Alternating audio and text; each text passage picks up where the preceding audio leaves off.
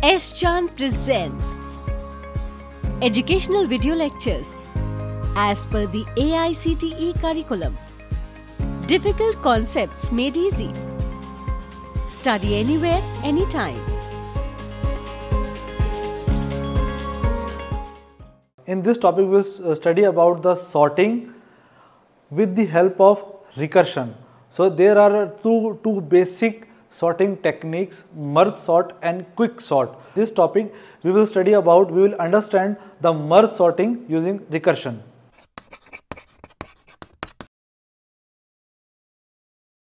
I am Dr. Shriyash Atri and these are the some good books from the S. Chand Publishing. Merge sort. This merge sort is based on the technique of divide and conquer method.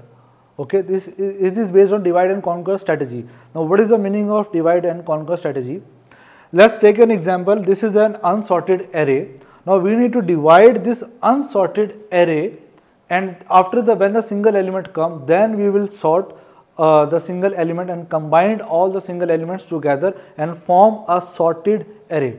So, this is called the divide and conquer strategy. So, how to divide it and how to conquer to make the unsorted array into a sorted array, let us understand with the help of this. So, this is an unsorted array. Now, we need to sort this array using the merge sort. Now, where this merge sort used?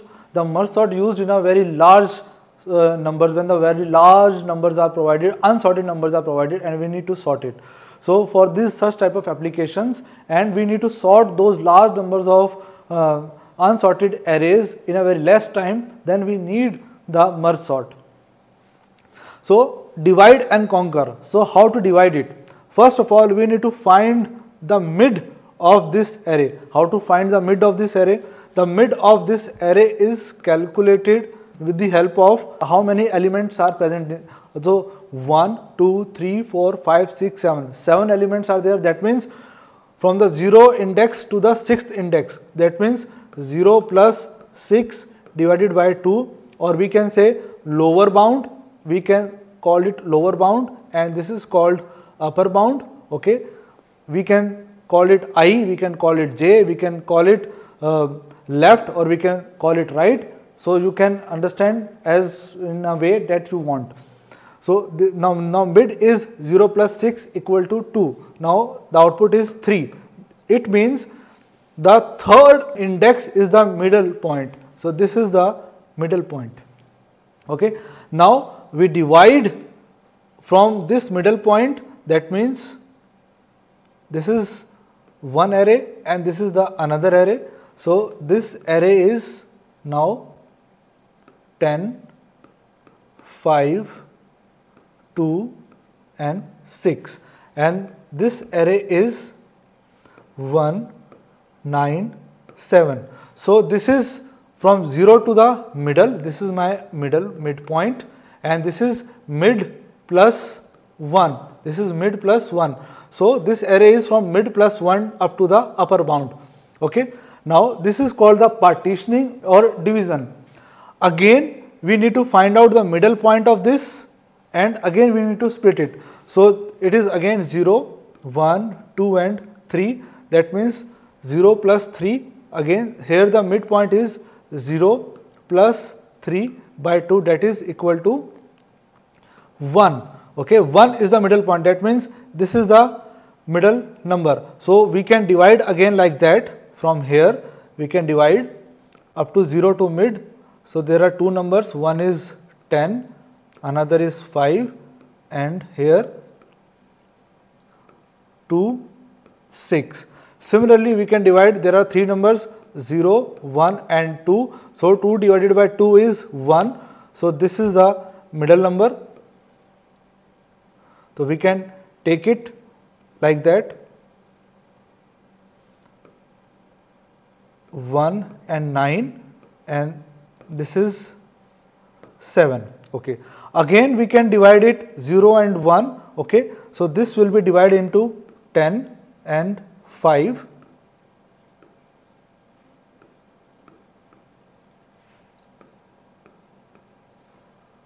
2, 2 and then 6. This is again divided in 1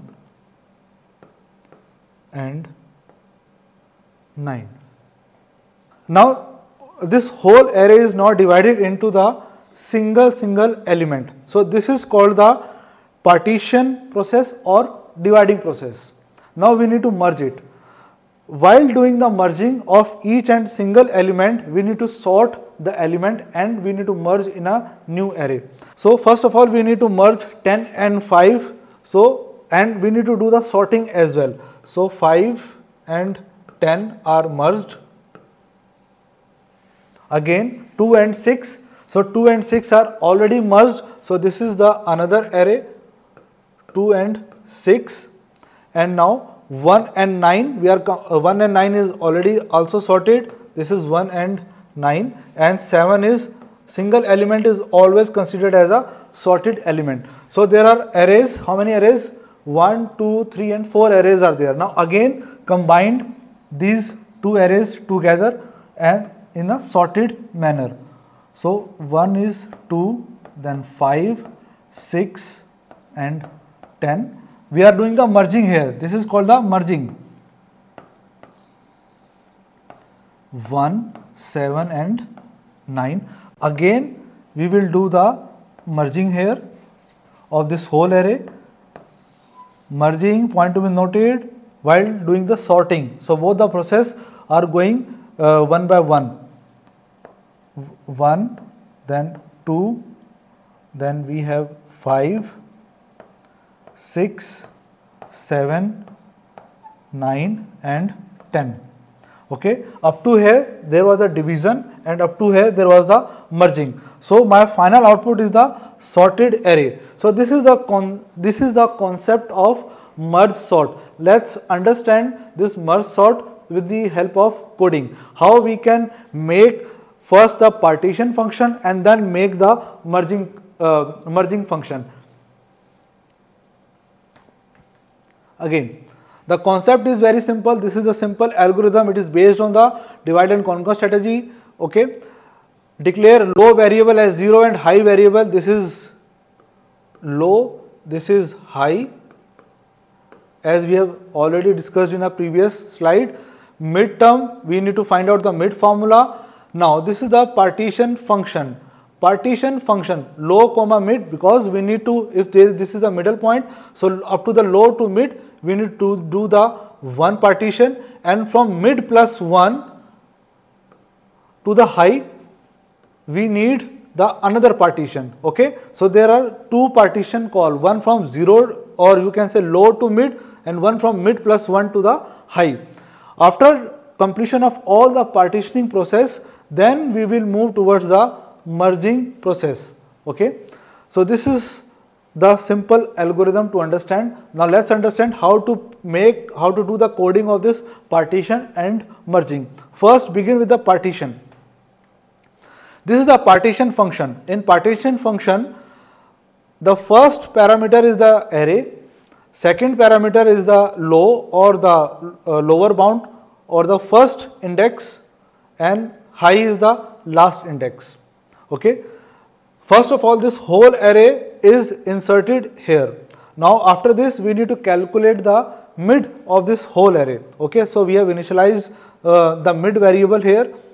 If low is less than high, just condition is true, low is 0 and high is 6. 0 is less than 6, condition is true. Then what we need to do? We need to do find out the mid plus. So here the mid is 3. So my partition takes place. First, the partition of this list, this is the list. The partition of this list take place from 0 to the middle point, okay, and then the remaining list that this one remaining list. And the list is from the middle plus one that is this one okay?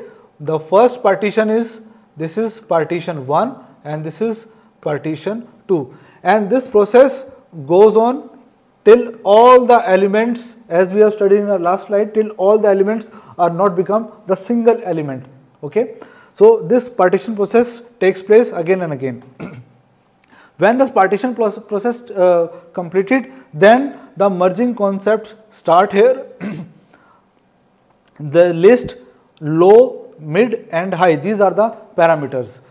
So this is the partitioning function. This party, the purpose of this partitioning function is it will take the input of the array from the main function and it divide this whole array, okay, uh, this whole array in the different partitions as we have discussed in our last slide. Now this is the partitioning and this is the merging function okay now the two functions uh, we are uh, here the two functions are get together so the partitioning function is take place. After the partitioning function now merge will call. When the merge call it goes here. So we need to understand the merge here. The merging concept is you can uh, do the practice of it or you can search your own how to merge the two arrays together.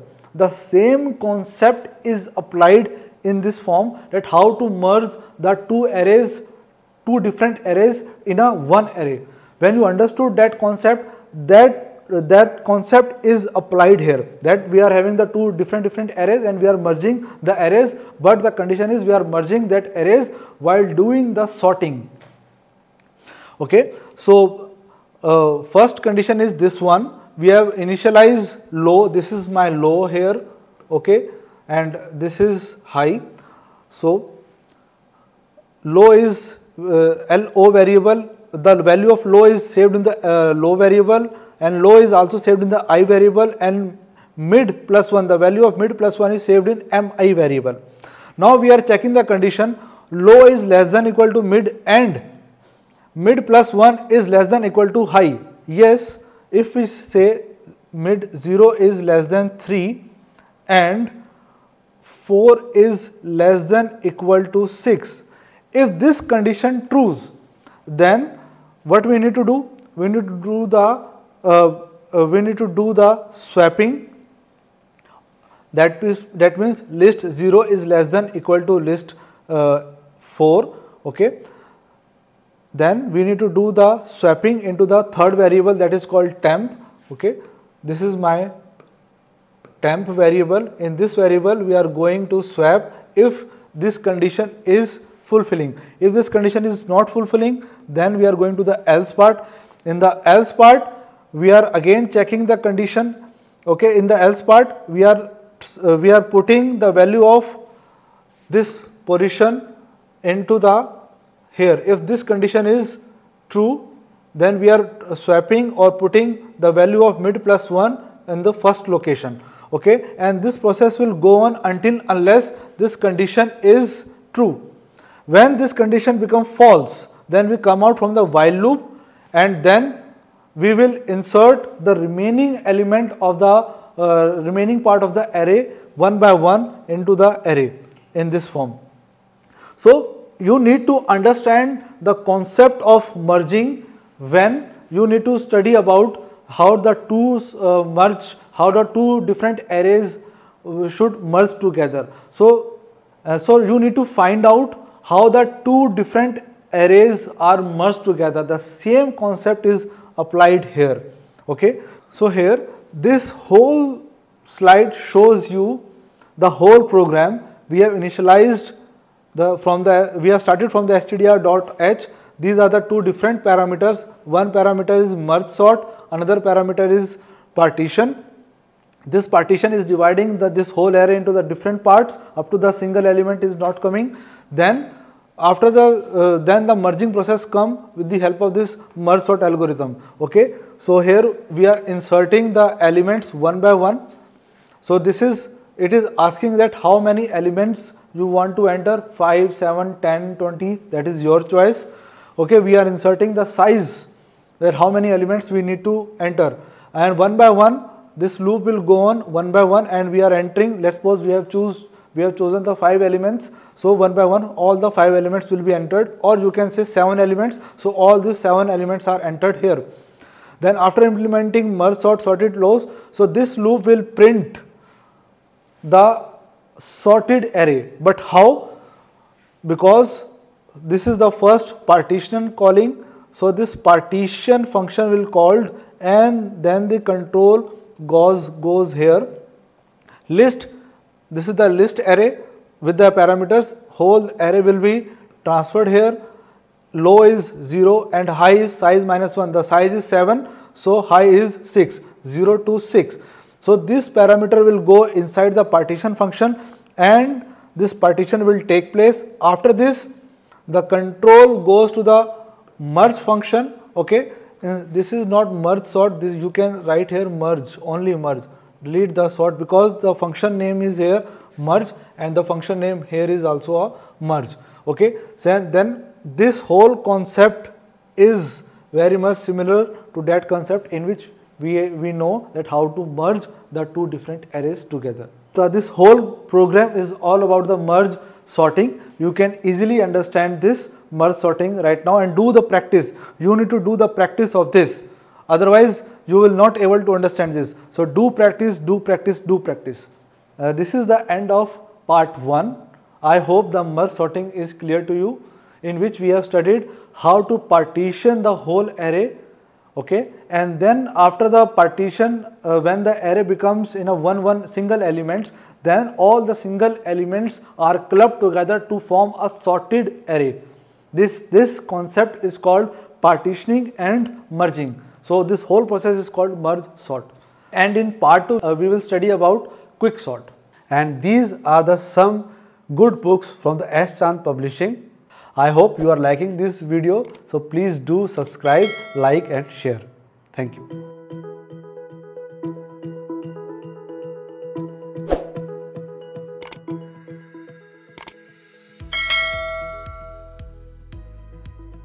All rights reserved. This video has been prepared for educational purposes only. No part of it may be reproduced or copied without the permission of the copyright holder.